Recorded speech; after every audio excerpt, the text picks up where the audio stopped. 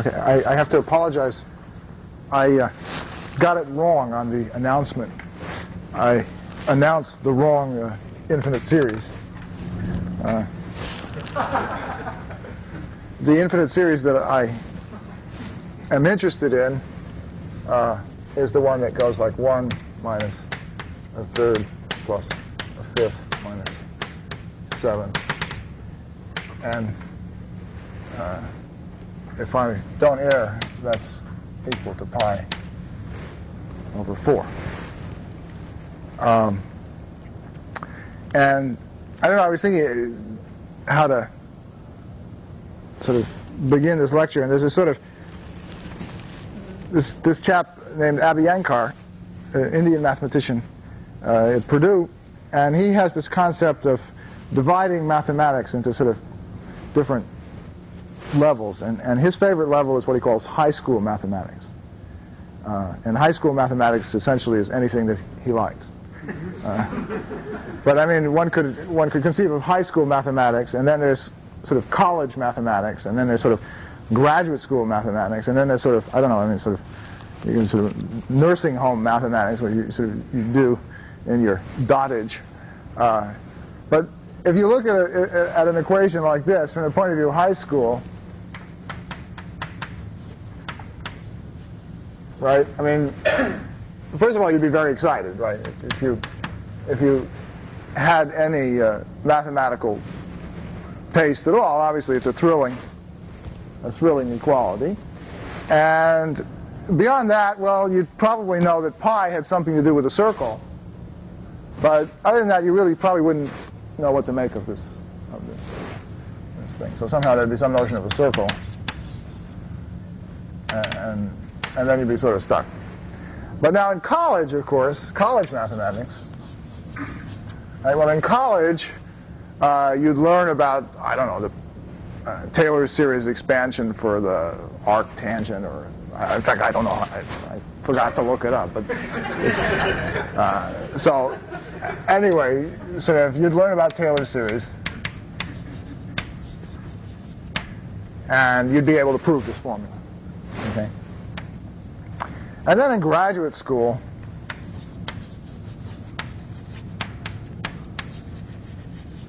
Right? Well, graduate school, I mean, obviously you'd have nothing but contempt for, for such a such a formula. I mean, sort of no sex at all, and, and, and I mean, you know, you want to look at perverse sheaves or something. You don't want to look at look at this thing.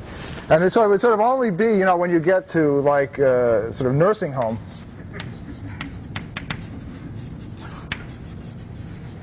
Mathematics where you're sort of sitting there reminiscing about all your sort of mathematical experiences, and you come back to a formula like this and say, gee, that's, that's really a nice formula, you know, sort of think about it a little more. So um, from that point of view, I, am not yet in a nursing home, but, but sort of going that direction, I mean, sort of the derivative points that way, uh, you look at the formula like that, and you say, gee, when I was in high school, I really liked that formula, and I realized that the thing on the right-hand side had something to do with the you know, the radius, or the, what is it called, the circumference of a circle or something like that. Uh, maybe one could prove that formula by, by somehow, does the left-hand side have something to do with a circle? Right? And uh, so, you know, you think about it a little bit, but by the time you get to nursing home, you've seen a whole lot of mathematics, and you realize that there's circles and there's circles, right? And if we look at the equation, uh, an algebraic geometer where he sees that equation sort of in lots of different, there are lots of different sort of avatars of that equation, and I could view that equation over a finite field, for example. I could look at that equation over a finite field, or I could look at over a, p-adic field. Maybe I should. Does everyone know what QP is? Well, I mean, it's the quotient field of ZP, and this is the p-adic numbers. Okay, so this is sort of power series in powers of p, and this is the quotient field of that. Okay, so it's a nice, it's a nice topological field. It has a nice topology. Points are close together if if their difference is divisible by a large power of p. And uh, we could look at the uh, solutions of this uh, equation with coefficients QP. And uh, so what happens? Well, um, well, we could look at it, right? Let's call this locus of solutions of this equation, call it, say, t. And, um, well, there, it sort of breaks up into two possible cases. Uh, if, let's leave out the case p equals 2, because I don't have much time, and that's obviously a confusing case. But if p is not equal to 2, uh, then um, there are two cases depending upon whether minus 1 is a square uh, or not in this in this in this field. Okay, so there are two.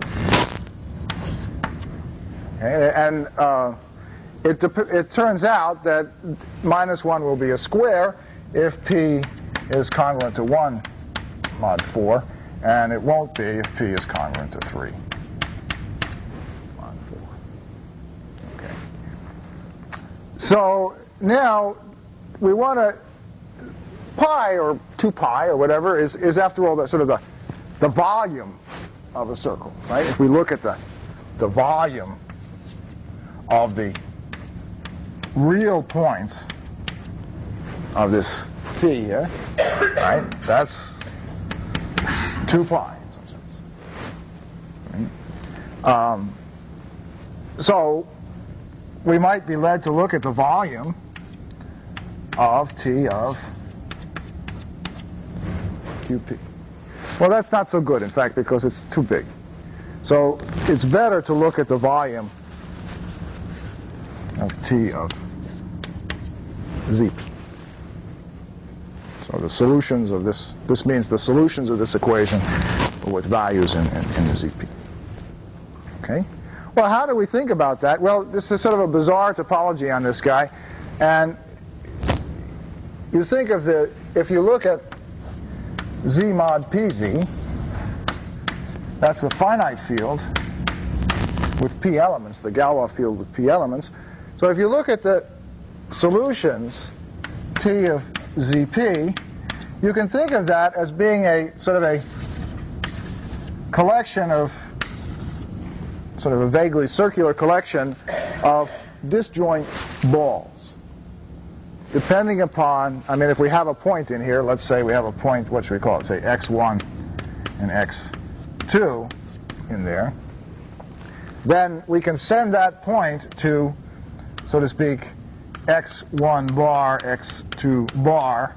Uh, so this is a point in ZP taken twice, and this is a point in the residue FP taken twice.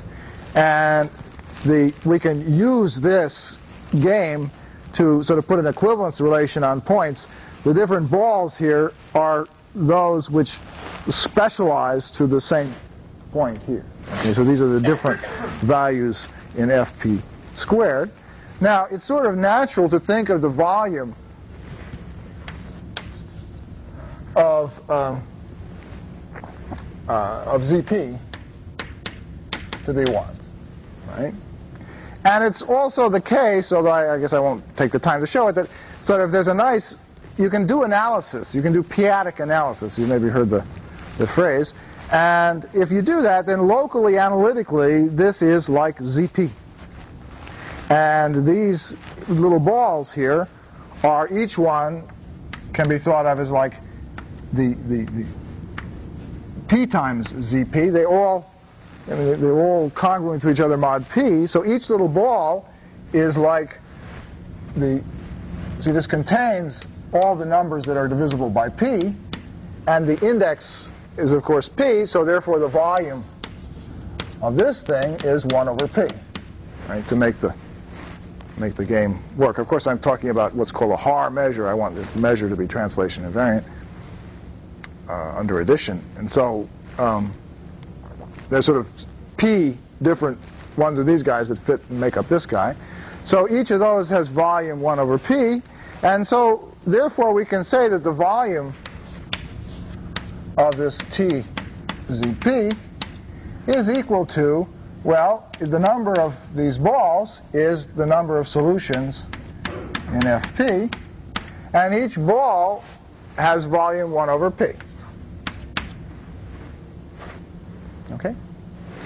So, well, how many are there? Well, I, I rather, I mean, a elementary exercise to convince yourself that uh, if minus 1 is a square, that is, if p is congruent to 1 mod 4, so the number of elements in TP, T of Fp, is equal to p minus 1 if, one, if p is congruent to 1 mod 4, and it's equal to p plus 1 if p is congruent to 3 mod 4. Okay? So, uh, therefore, the volume, the volume of T of Zp is equal to, uh, what is it? It's equal to uh, 1 minus 1 over p, if p is congruent to 1 mod 4, and it's 1 plus 1 over p, if p is congruent to 3 mod 4. And therefore, the left-hand side of this mysterious equation, uh, if you do a little manipulation, you find that this is equal to the product uh, for p not equal to 2, we leave out p equals 2, of the volume of the t zp, and these numbers, inverse. Inverse.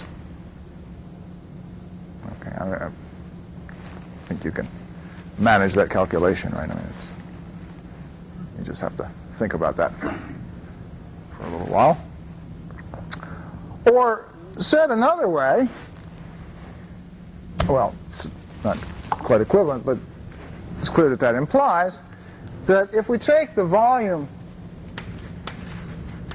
of uh, T of R and we multiply by the product of the volumes of the T of P, well, uh, what do we get? I mean, well, I don't know. We get something like one eighth, or maybe it's two, or some.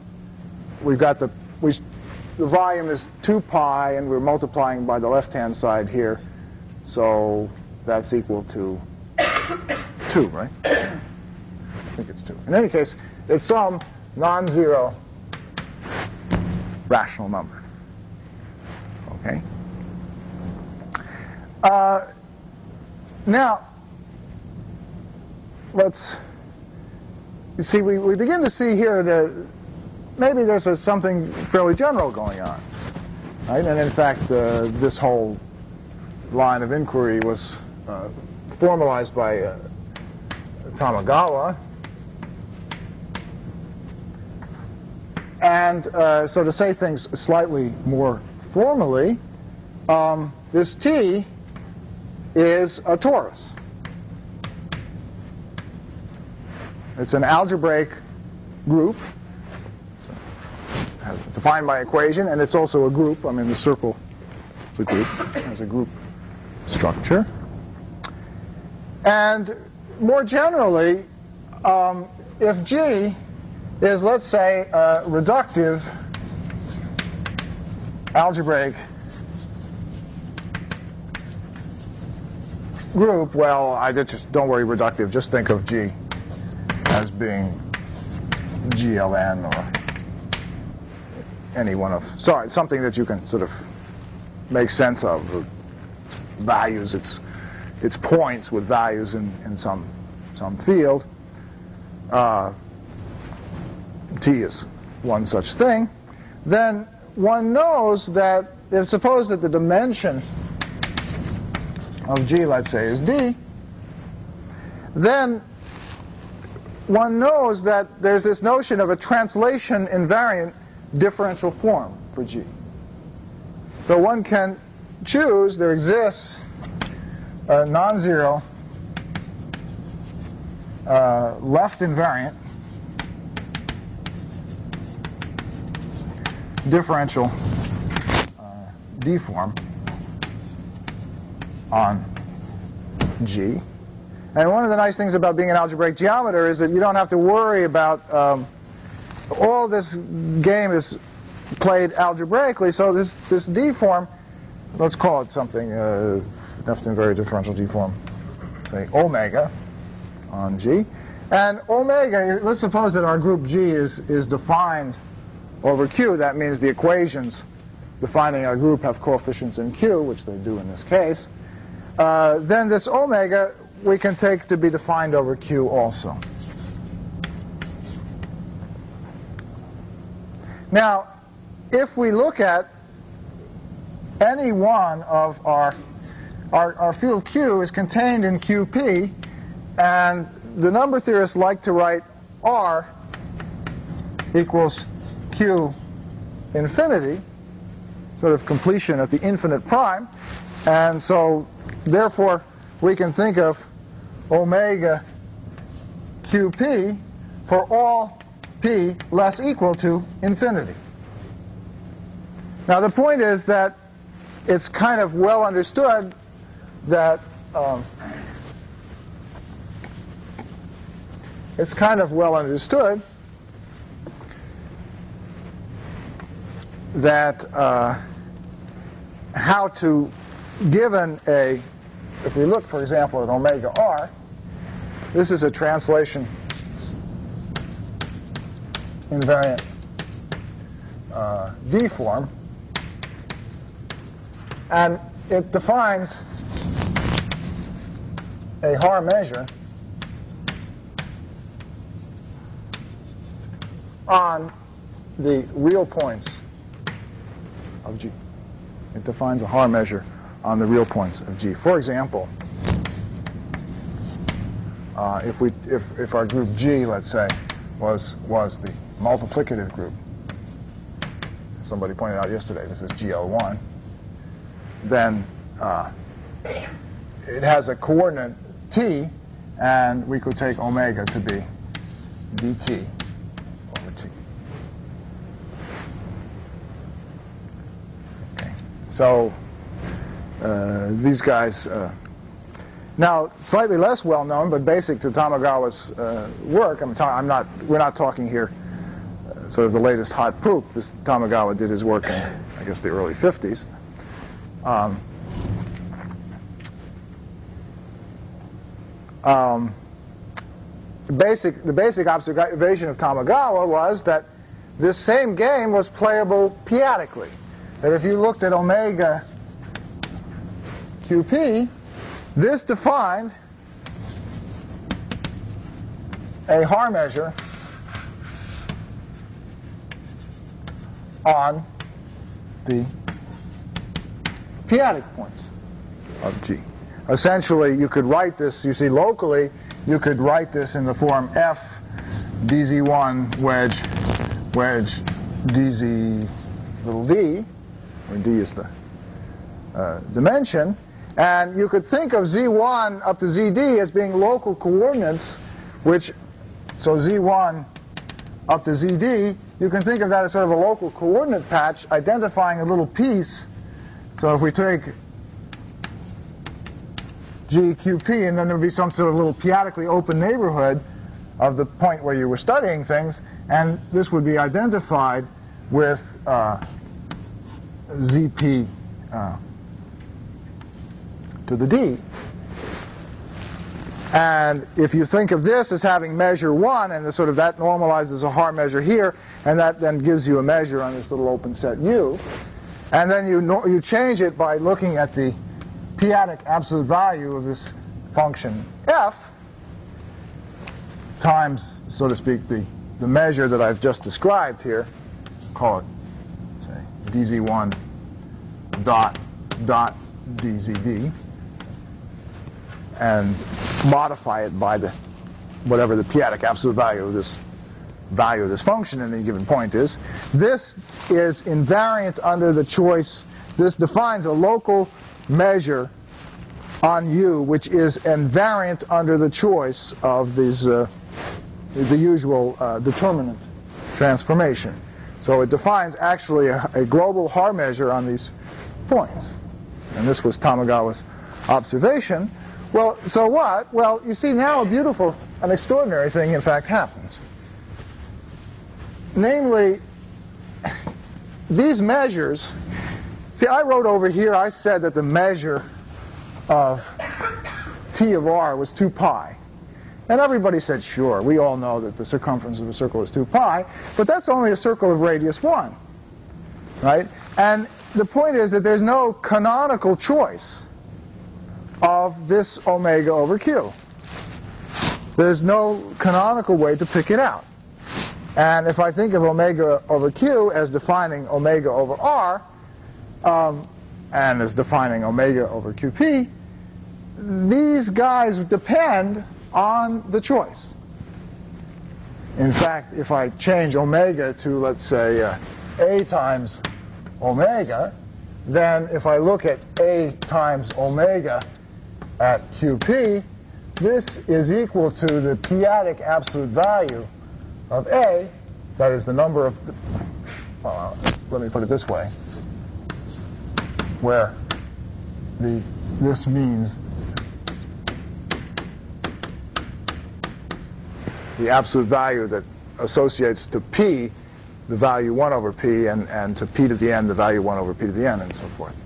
So if things are p-adically close together, they have a small absolute value.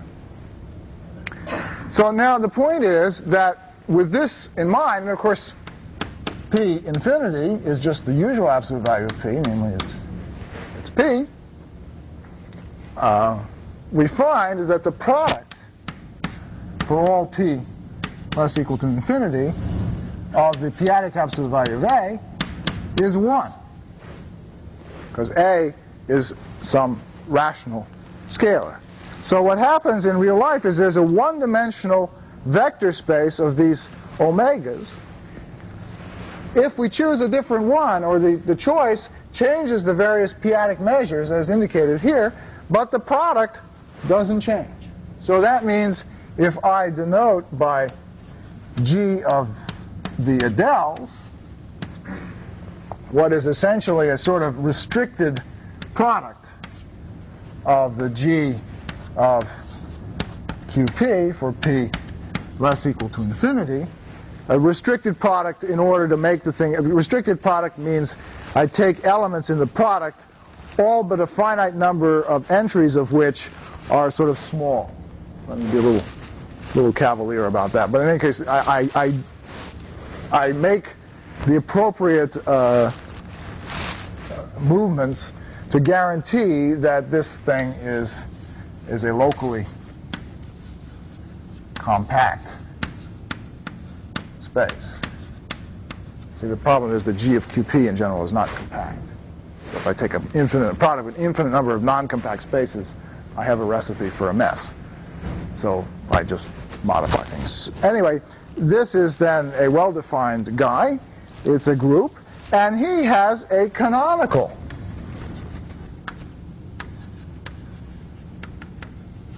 measure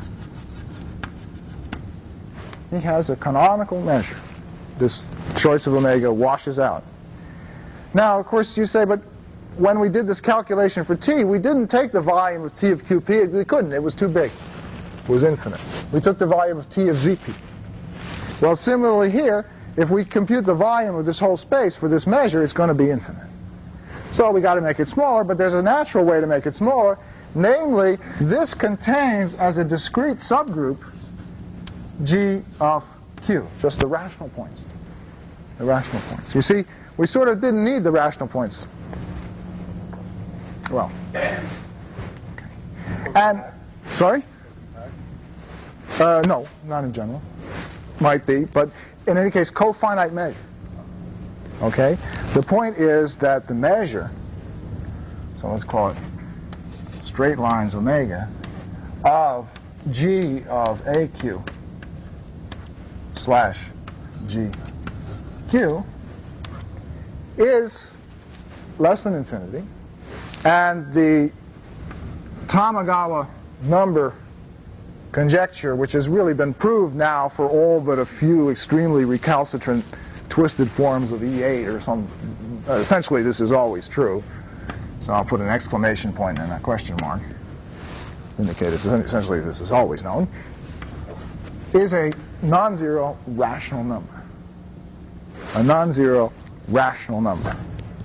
So therefore we can read back this kind of calculation that we did here and find essentially that something like, so roughly, we find the volume of G of R slash G of Z times the product of the volumes here, but we sort of did a calculation, and the same kind of calculation works in general. Uh, namely, this volume is the number of points of G with values in the finite field divided by P to the D, where D is the dimension of G. This expression here, roughly speaking, belongs to is a, is a rational number. Okay. Well, that's all well and good, and that's been sort of well understood now for, well, there's been improved results and Langlands and Kottwitz and all kinds of uh, heavy-duty mathematics that went into proving these kind of theorems. Um, but I'm sort of interested in how this might be generalized um, to algebraic geometry. And it turns out there is a there is a generalization, and that's what I want to talk about now.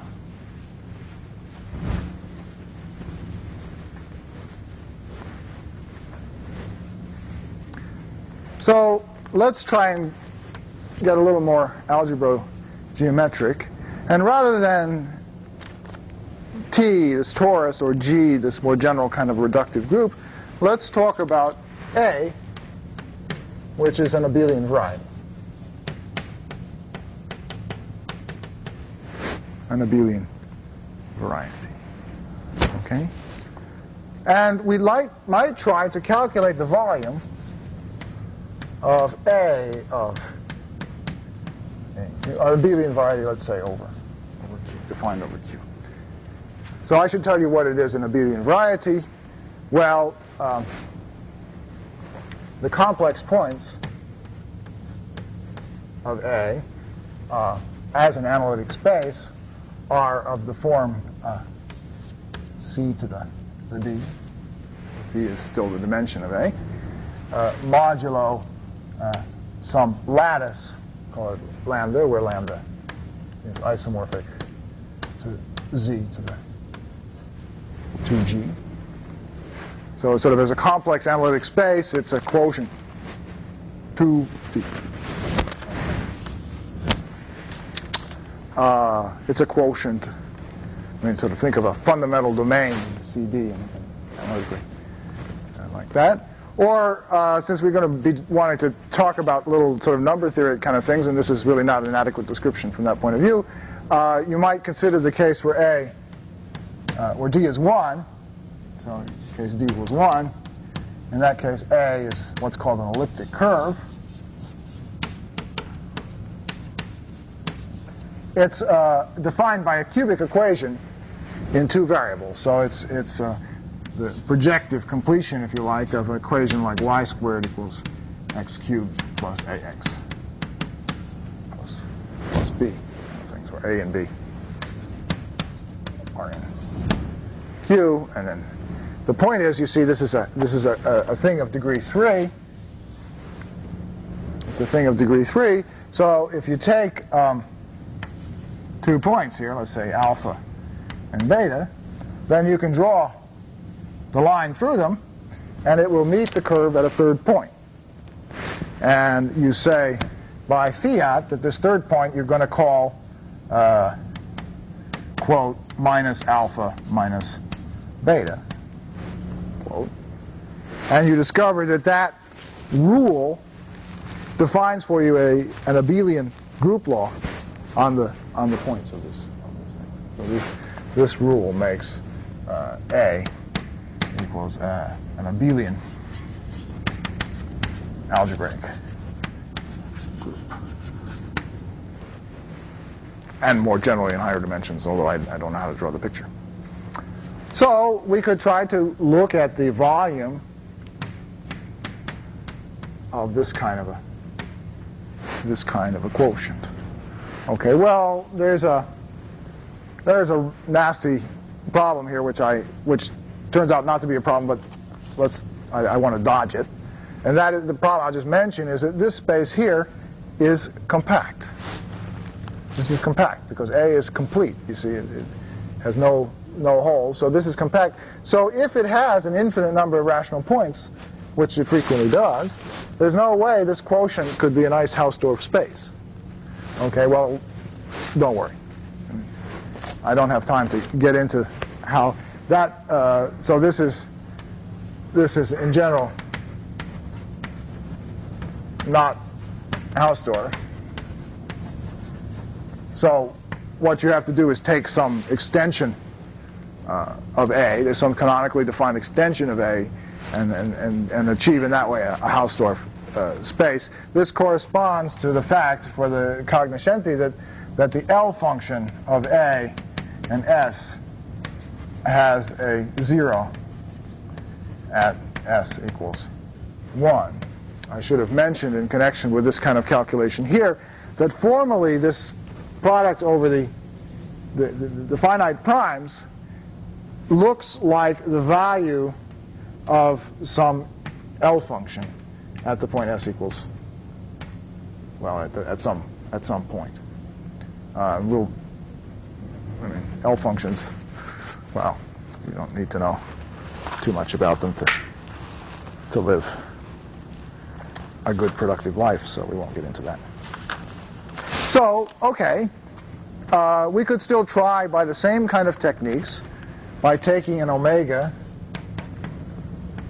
uh, which is a in the highest exterior power, so the sort of the determinant of the space of the invariant tangent vectors dual, so cotangent vectors, and as before, so defined over Q. And this defines a volume, and we can talk about this this volume. And the roughly speaking, um, the resulting conjecture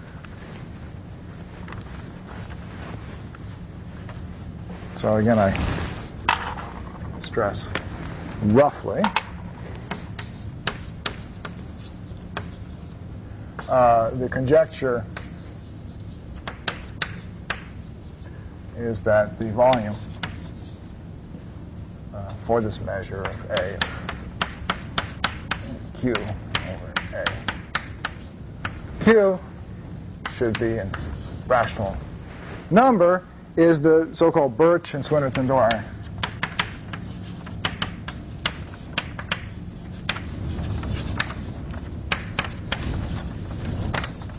conjecture. I'm dodging a sort of technical point. Not a technical point, I mean a basic point. Okay, but we, so Birch and Swinnerton-Dyer, they did their work in the in the 60s. Um, you know, we got a ways to go still.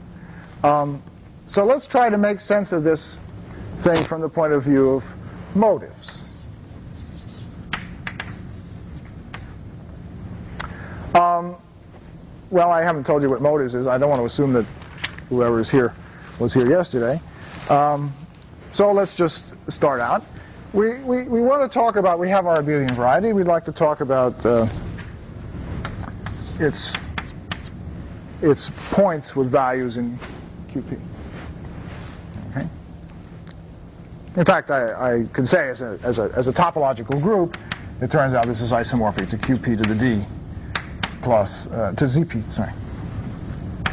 ZP to the D, direct sum, some finite torsion. Finite. So it's a very reasonable topological group if, if you swing with p-adic things. Uh, and so one way to think about this group is the following. If we can use sort of Galois cohomology, let's see, how do I want to, how do I want to uh, say this? Um,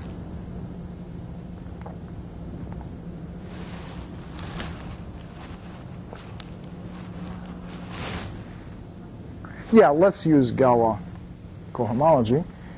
If we look at the points of A with solu the solutions of A with values in the algebraic closure of QP, then we're going to get a picture that really is rather more like, let's see, did I erase it here? Yeah, remember I wrote A of C was C to the D modulo lambda, right? So vaguely speaking, what's going to happen if I look at the solutions with values in the algebraic closure, and I look at, let's say, a map which is, say, multiplication by some integer n,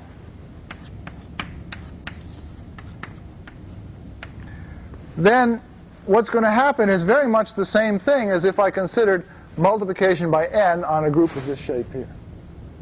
So what would happen if I considered multiplication by n on a group of this shape here is I would get a little exact sequence.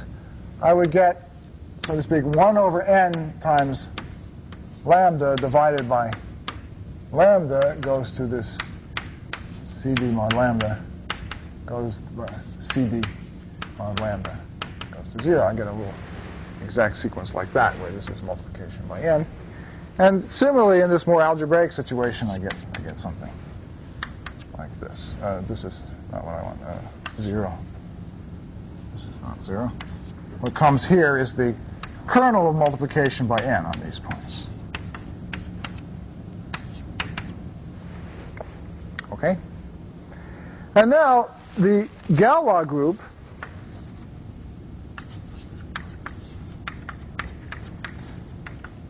operates on these points, operates on everything. And so if I take the invariants, the points that are invariant under those Galois group, I'm going to get back my the points that are defined over QP. But on the other hand, multiplication by n is not necessarily going to be surjective on those points, and the error term is going to be read by the higher cohomology. There's a long exact sequence of cohomology associated to this, uh, just like in, in topology. So um, we can sort of imitate the way one always studies cohomology, and we can get A of QP. Now, no bar. I've taken invariance, multiplication by n, A of QP. And here comes H1 of this, let me call it GP. So GP uh, with coefficients in the kernel of multiplication by n bar. And then here comes uh, h1 gp with coefficients in a. So things are getting a little more sophisticated here. But the point is we now can sort of take a limit over, over n. And this group here is clearly an adically complete group. That means if I take this group mod n for various n and then pass to the inverse limit over sort of more and more divisible n's, I get the group itself back again. So if I play that game here, what I find is an injection into H1 GP with values in a certain inverse limit of A of QP. Okay. Now I can rewrite this thing as being H1 of GP. So now gradually things are getting a little more sophisticated here, but I hope at least the thread is clear even if you haven't thought carefully about these various ideas. Um, with coefficients in, and now I want to use, I have to use, I don't want to use, I'm stuck with using, the, a little bit more about the theory of abelian varieties. Namely, every abelian variety comes equipped with a dual abelian variety. A hat, let's say, which if A of C, for example, was C to the D mod lambda, then A hat of C would be C to the D modulo a certain dual lattice where I, there's a whole song and dance here about polarizations, uh, the bottom line of which there's a certain canonical uh, skew symmetric form, and it makes sense to talk about the dual lattice. And uh, so there's a certain duality. And the, the, the point is that A hat of C is sort of the Picard group of line bundles, sort of topologically trivial line bundles on A. And, and vice versa. This is A hat hat is A again. And what happens is that this kind of limit, uh, sorry, I, this should be the limit over n of the n torsion points. This kind of limit here has an interpretation as the étale cohomology of a hat with coefficients in uh, QP, uh, with coefficients in, sorry, uh, Z hat of 1. Okay, now I, things are getting a bit more technical, but for those of you who came to the lecture yesterday, um, I talked about this notion of motives, and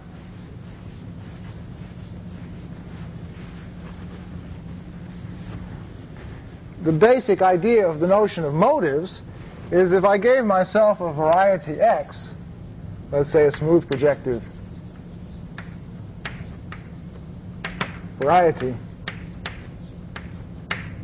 let's say over Q, and I give myself a cohomology group, let's say Hn x, um, and I give myself a, a, a, a twist, basically I give myself x and I give myself two integers n and r, then there is a sort of a universal such guy, which you can think of as being associated to the nth cohomology group, for example, the nth Betti cohomology, the usual singular cohomology of X, but it's universal. It has its realizations, all the various kind of cohomology theories. And this R here um, can be thought of as follows. If I look at the what's called the étale cohomology, well, technically, you write it like this. You'd take some L that has nothing to do with anything, and you could define a cohomology group. The point is this is a cohomology group which in algebra plays the same role as the nth Betti cohomology, but the difference is that the Galois group of Q acts on it, and when they have that kind of action, you can define an L function. I'll just call this H. H and S by looking at the determinants of the various Frobenius elements in here acting on, on H. So there's a certain L function here. I'll give an example at the end of the, end of the lecture, um, but I don't want to get too much into it. But the point is that uh, if I, the R here is just a placekeeper for the S. So if I twist by R, then the resulting S is translated by R. So the the R that appears here should be just thought of as a, as a twist or a placekeeper. But when you go through this, this business, what you find is that the points, the thing that I want to measure to get my Tamagawa number, sit inside this kind of thing. Well, in fact, what happens is that this thing gets identified with the extensions in the category, in a suitable category of motives of Z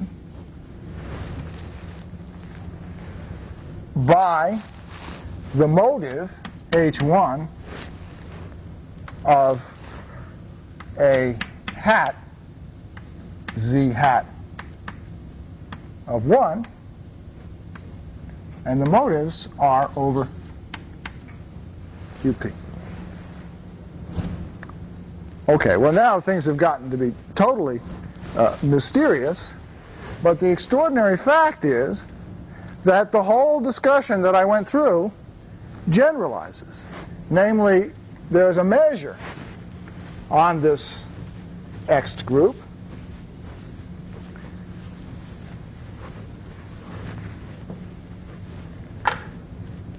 so sort of amazing.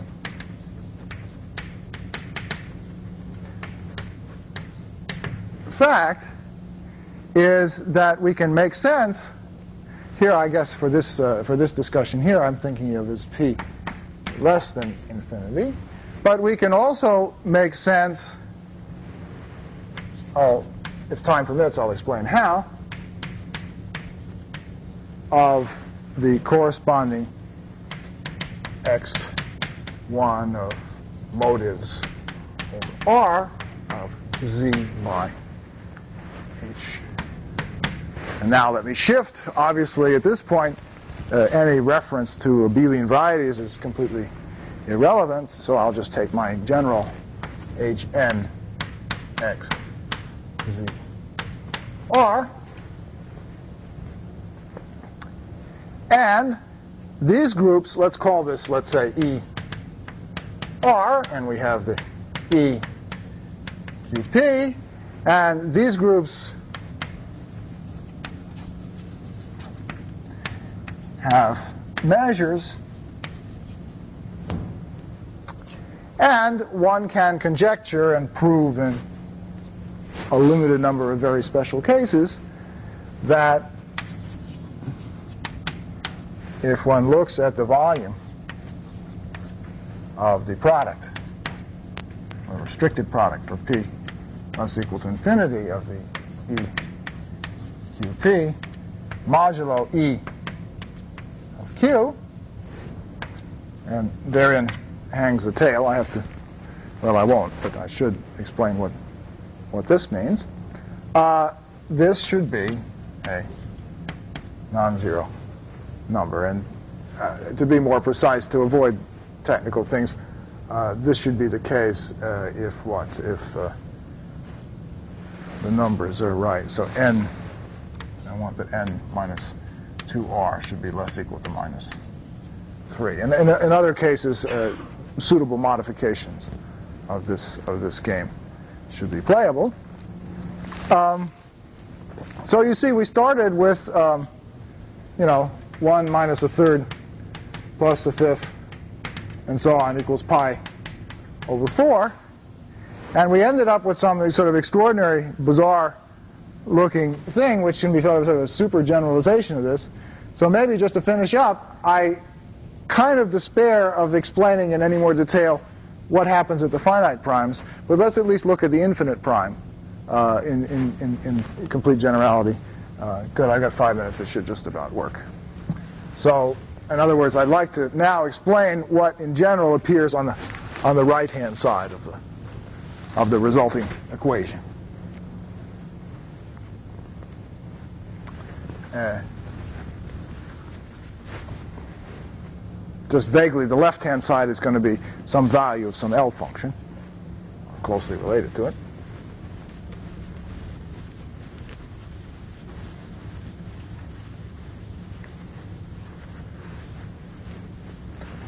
So let me just explain what is E R. Well, we started now with this sort of more general gadget. So let's suppose that, I mean, I can now look at, and I assume that everybody is familiar with, if I look at the x is a variety over q, so I can look at its complex points. And uh, I can look at its complex cohomology, and I can factor out by, what do I want to factor out by? Um, FR. So this is the sort of the rth level of the Hodge filtration. And uh, it is generated, if you like to think in terms of differential forms, you know, you can get forms type PQ forms, and these are forms, uh, so forms with at least R holomorphic parts. Okay? So that's a certain subvector space in this complex vector space. And I also factor out by Hn xc with coefficients in a certain subgroup of this coefficient group, and the subgroup is just z times 2 pi i to the power n, uh, power uh, n r, r, power r. Just think of this thing as contained in, in there. So I take that uh, quotient there, and my omega is to be a non-zero element in the, now I have to talk algebraic geometry talk, the de Rham cohomology is sort of just a way of playing this game, but, but, but over Q. Um, and I take the determinant of the nth, the de Rham cohomology of x over q, dual, and omega c, the complexification of omega, then defines for me a measure on this group here. Now actually I've written down this group here is E of C, so I actually, there's a conjugation, an action of conjugation, so I'll put a little plus here to take the part invariant under conjugation. And the E of R is then, then this, and its volume is then computed with, with respect to this kind of a uh, measure. You see this is a nice, uh, uh, it turns out with the conditions I've imposed on N and R, this is a nice abelian Lie group. It's sort of a vector space modulo. It turns out this is a discrete lattice in there. And so it's a nice abelian Lie group. It has a nice measure on it. Not necessarily a co-compact lattice, but it has a nice measure on it. And um, the, the volume, then the, the, the possible failure of co-compactness here is made up for by the existence of these rational points, which I haven't talked about. And it's the volume then, uh, so to speak, the, the right-hand side of the original equation is then the volume of this of R modulo, so to speak, E of, Z. Now I should mention, just to finish, that uh, this is, of course, not all due to me. Uh, the ideas in here uh, come from work of uh, Beilinson, and my joint work with Kato, Kazuya K. Kato. Okay, so, uh, so long.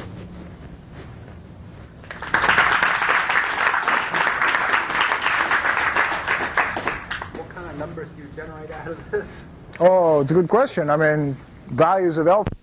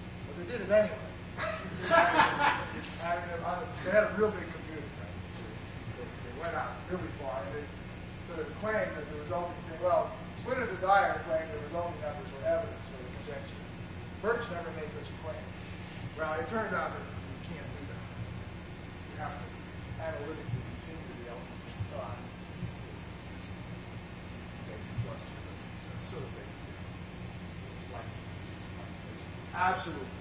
So the physicist at least would, would have something to convert to like cheat, lie, and steal to get there.